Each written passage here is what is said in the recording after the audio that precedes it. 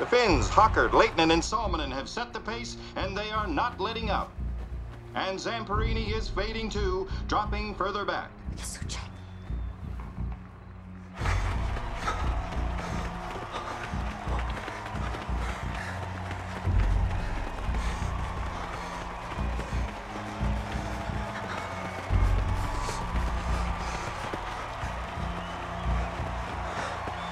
And into the eighth lap, it's the Finns still in the lead with Salminen in first place. Come on, Louis. Come on, Louis.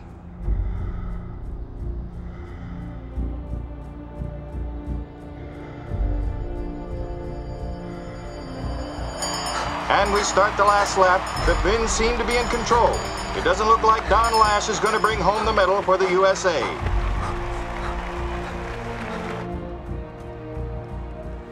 There seems to be some movement back in the pack. Yes, that's Zamperini overtaking Norway's Rolf Hansen. Va tutto bene.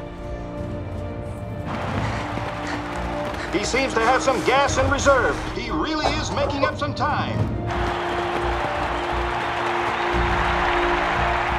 Höckert and Lehtinen will be one and two, but look at that Zamperini.